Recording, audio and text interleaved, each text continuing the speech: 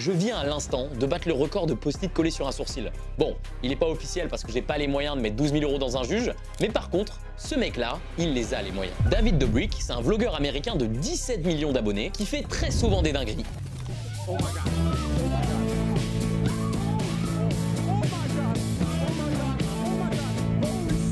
Mais un jour, il a voulu se faire un kiff. Mais pas comme toi et moi en s'achetant genre une paire ou en allant au parc Astérix. Non, David s'est offert le plus gros coussin du monde. 18 mètres, soutenu par une grue. Et le mieux, c'est qu'il est à son image. Il a même fait plein de coussins miniatures pour ses plus gros abonnés. Perso, je trouve ça terrifiant. Mais c'est loin d'être le record du monde le plus fou battu par un YouTuber. Parce que pour rentrer dans l'histoire, certains créateurs sont prêts à tout.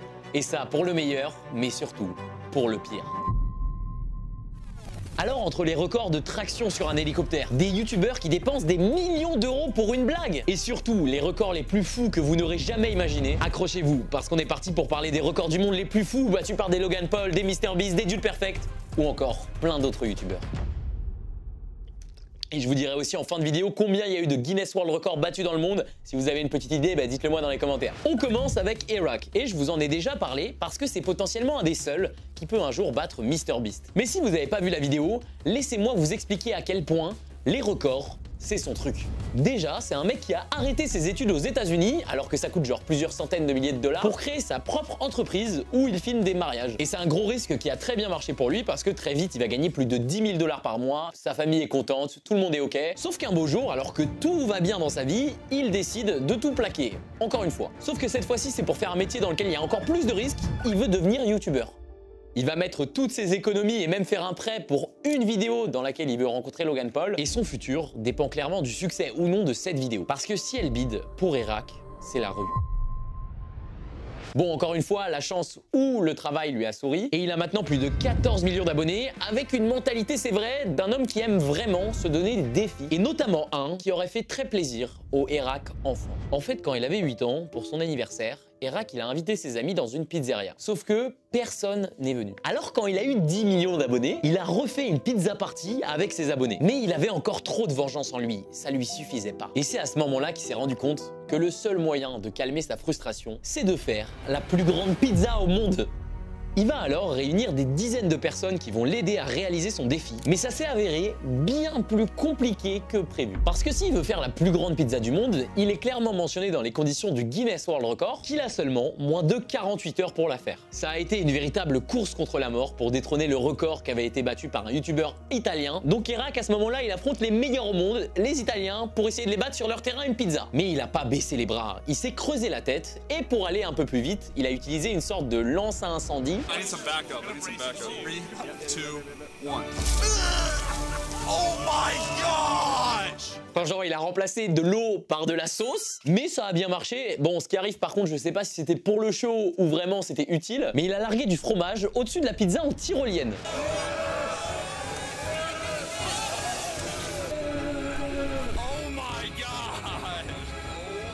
Quitte flex, autant le faire à fond. Et vu que c'était une pizza pour tous les goûts, il a ajouté plein d'ingrédients, genre du pepperoni, de l'ananas. Non, non, je suis désolé, les mecs qui me bouffent des pizzas à l'ananas, on n'est pas du tout ensemble. Enfin, on peut pas, non. Je suis désolé, je sais que je vous juge énormément, il y en a beaucoup en France, mais désolé, c'est pas possible. Et pour gagner encore, encore, encore, encore plus de temps, il a utilisé un canon pour projeter les ingrédients. À ce moment-là, j'attendais qu'ils sortent le lance-roquette pour tirer des poivrons. Pour l'occasion, ils ont même pimpé une voiturette de golf aux couleurs de la pizza. Non mais là c'est trop. Irak c'est trop. Je suis désolé. Mais bon, c'est très marrant tout ça.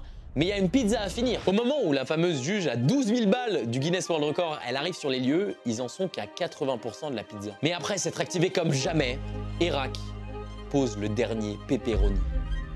La juge fait le tour de la pizza. Et c'est officiel. I guess I have one question for you, Brittany. Did we get the record? Well, I can confirm that you were a brand new Guinness World Records.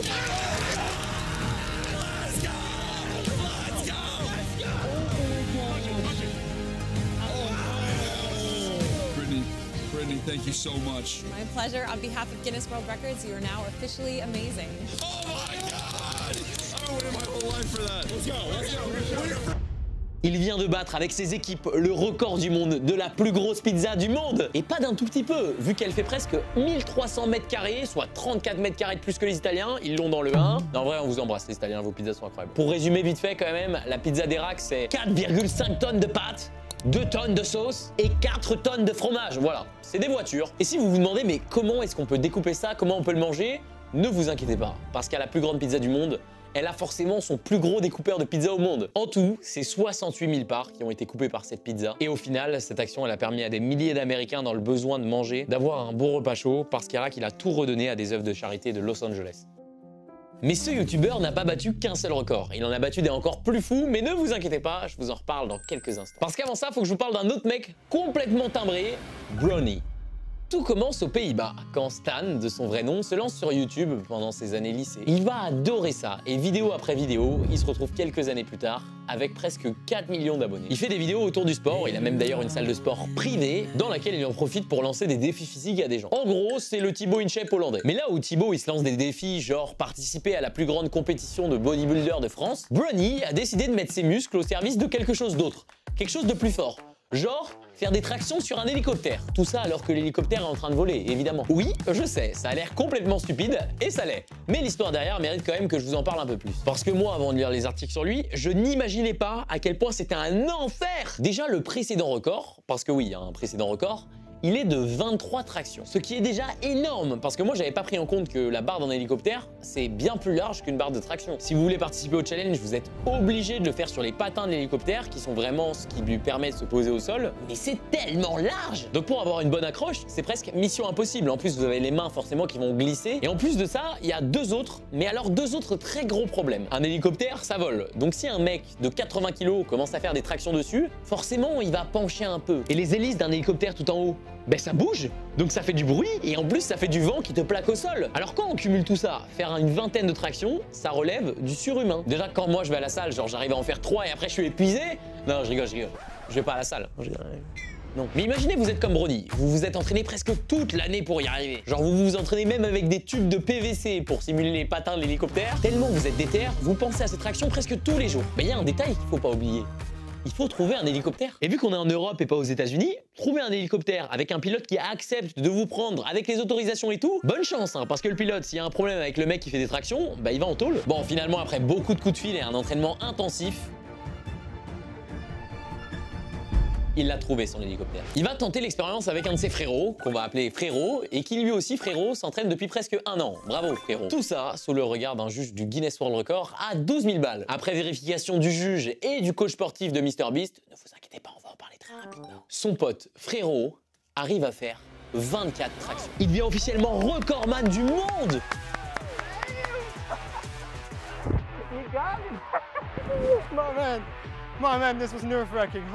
mais la joie n'a duré que quelques secondes, parce que Brownie était né pour rentrer dans l'histoire.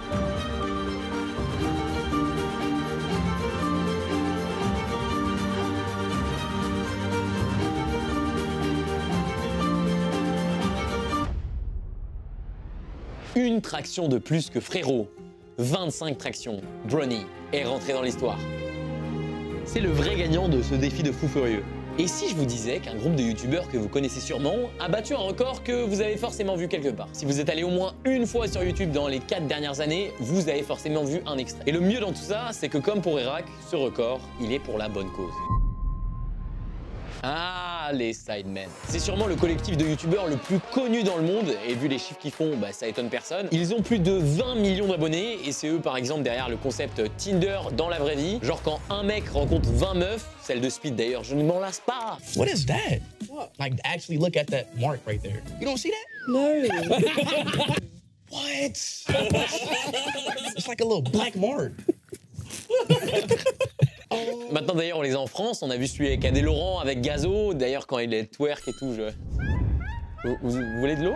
Mais avec tout l'engouement qu'ils ont autour d'eux, les Sidemen, ils ont voulu faire quelque chose de grand, marquer l'histoire. Et ça, Internet ne l'oubliera pas. Comme tout Anglais qui se respecte, ils adorent le foot. C'est là qu'ils vont avoir la bonne idée de mêler sport et divertissement en créant le Sidemen Charity Match L'objectif, il est simple, ramener les plus grandes stars d'Internet et les faire s'affronter sur un terrain. Et c'est tellement énorme comme événement qu'à chaque fois, ça ramène des millions de spectateurs sur YouTube. En même temps, entre XQC au cage, KSI qui s'énerve ou encore Speed qui tacle MrBeast en 4K, comment ne pas avoir envie de regarder cette masterclass? Le meilleur moment pour moi Hmm, Laissez-moi réfléchir.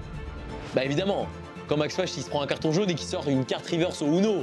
Chaque année, les Sidemen ils permettent de récolter des millions d'euros à des œuvres de charité. C'est un peu l'équivalent du The Event en France. Je pense que de battre un record du monde, ça les a fait tellement kiffer qu'ils se sont dit qu'ils pouvaient pas s'arrêter là. Ils ont besoin de plus. C'est là qu'ils ont sorti une vidéo où ils doivent battre les records du monde les plus improbables possibles. Bon, pour l'anecdote, ils ont réussi. Ils ont battu plein de records, comme par exemple réussir à manger un bol de céréales avec des baguettes. Mais ce genre de concept, on le voit un peu partout, même en France d'ailleurs. Un bisou à Pierre Cross. Mais si je vous parle de cette vidéo, c'est surtout parce que le juge, je le connais bien. C'est même un de mes concurrents. Non, je rigole, c'est juste une version de moi avec des lunettes en anglais, quoi. Jack Sucks at Life parle un peu de tout ce qui se passe sur Internet, un peu comme moi, sauf qu'on fait pas du tout les mêmes sujets. Lui, il va quand même très très très très très très loin dans certains délires. Et bon, vu qu'il fait des shorts un peu comme moi, bah j'estime que c'est un peu moi, mais dans un autre pays, voilà. Mais si je vous parle de lui, qui est juge pour le Guinness World Record, c'est qu'il a logiquement aussi un record du monde. Quand on regarde un peu son contenu, on se rend compte qu'il connaît bien YouTube, mais vraiment qu'il le connaît très bien YouTube. Aussi bien des anecdotes inconnues du site, genre si tu le croises dans la rue et que tu lui demandes qui est le premier YouTuber à avoir eu 211 abonnés,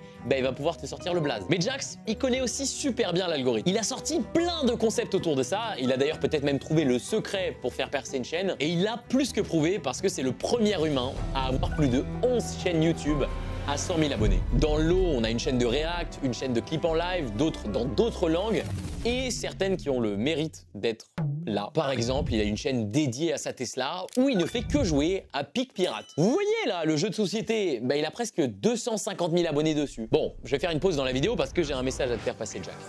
Si t'es chaud, on fait un feat tous les deux, on se fait un espèce de quiz, on s'affronte sur la culture d'Internet, et je te graille, poteau. Bon, si tu veux, je la fais en anglais pour que tu comprennes. Euh...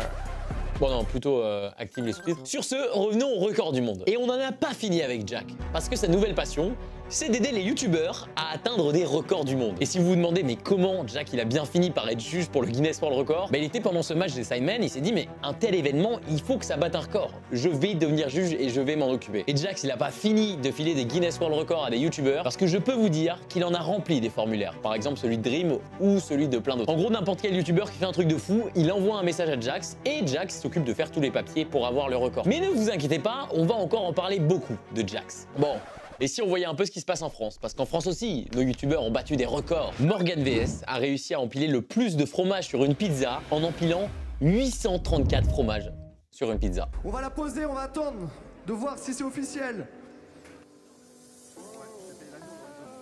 Sono qui in veste di giudice ufficiale del Guinness World Record.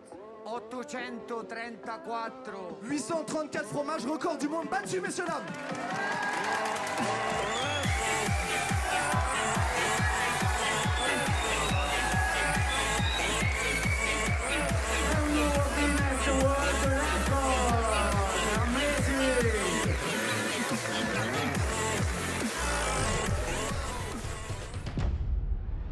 Bon, je spoil, malheureusement, il a été battu depuis. C'était en 2021, mais beaucoup d'émotions dans cette vidéo. Bon, et si on se rafraîchissait un peu après tout ce fromage Vous savez sûrement que KSI et Logan Paul, deux anciens ennemis, se sont associés pour créer ensemble leur marque de boisson. D'ailleurs, je les ai goûtés et c'est juste en dessous de la pizza hawaïenne. De toute façon, la spécialité de nos deux stars, c'est clairement le marketing. Ils sont sponsors d'Arsenal, du Barça, on les a vus partout, même South Park les a parodiés, mais ils ont franchi cette fois-ci un nouveau palier. Et je vais pas plus vous laisser de suspense parce que de toute façon ça sert à rien, personne ne va trouver. Les deux youtubeurs ont réalisé la plus grande piñata du monde.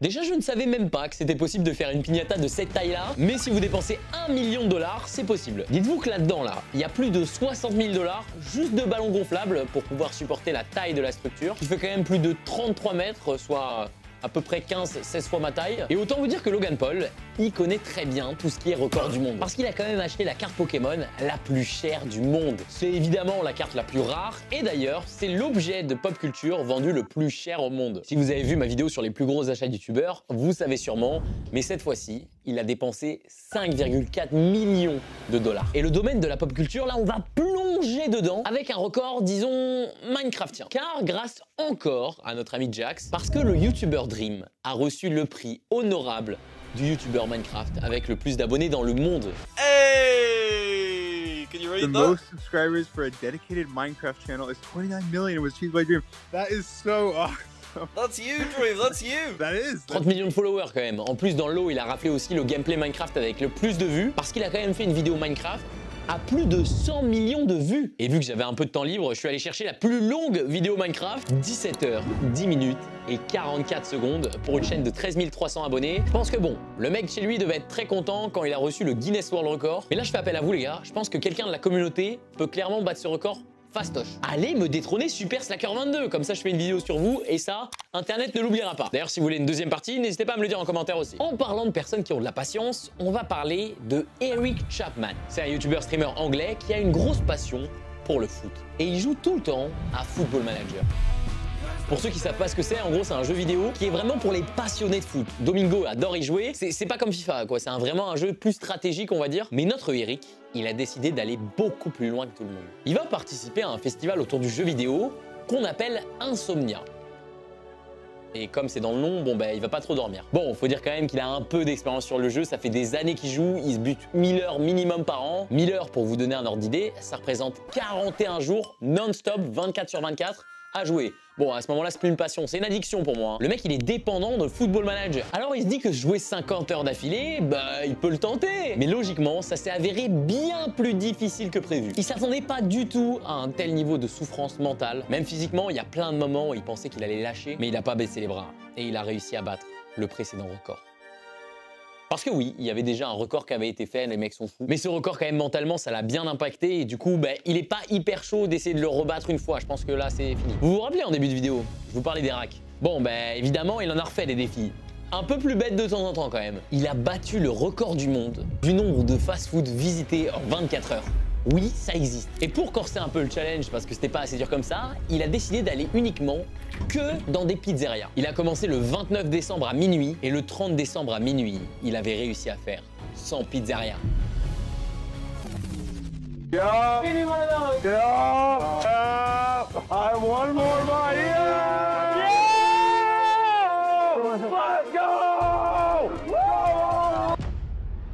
Vraiment, la pizza rack, c'est son truc. Mais on enchaîne avec encore plus de délire, j'ai nommé les Dude Perfect. Eux, sur leur chaîne YouTube, ils font des trickshots. Et donc ils sont un peu nés pour faire des records. Bon du coup je vais pas tous vous les donner parce que sinon la vidéo durerait plus de 10 minutes. Et dans les plus mémorables, on a par exemple le record du shot de basket fait avec la tête le plus long, avec un tir à plus de 11 mètres, un autre tir le plus long possible, mais cette fois-ci avec les yeux bandés, 16 mètres cette fois-ci, c'est une dinguerie. Ils ont énormément de records hein, qu'on a tous forcément essayé. Tu prends une balle de basket, tu la lances le plus haut possible, 200 mètres. Ils ont fait 200 mètres. Est-ce que c'est bon pour vous? Mais ils vont aussi sur de la cuisine. hein. Ils ont réussi à battre le record du plus de citrons coupés en moins de 30 secondes. Ils en ont fait 66. Ou encore la plus grande distance parcourue par une balle de golf en soufflant dessus. Mais qui fait les idées chez ces mecs-là? Et le mieux, c'est que c'est réel, hein, c'est pas fake. Non, non, ils font vraiment les challenges. Pour certains, ils ont passé des semaines et des semaines à les répéter, à essayer de réussir. Et des fois, ça paye. Et des fois, malheureusement, ben, on les bat, quoi. Parce qu'un joueur de football américain s'est levé un matin et il s'est dit, mais je vais les bousiller. Cam Newton a invité MrBeast et ses potes pour les défoncer. En une après-midi avec Chandler, le pote de MrBeast, ils ont réussi à battre le record de la passe de football américain la plus longue alors que Chandler avait les yeux bandés. Et surtout, Cam Newton était à la réception et quand Chandler lui lançait les ballons, ils ont réussi à s'envoyer quand même 51 ballons en moins d'une minute. As you know, you just attempted the Guinness World Records title for the most one-handed catches in a minute, previously held by Odell Beckham, Drew Brees, Jarvis Landry, Kirk Cousins. Unfortunately, a few of your catches were not valid because you tucked them against your body. But with 51 catches,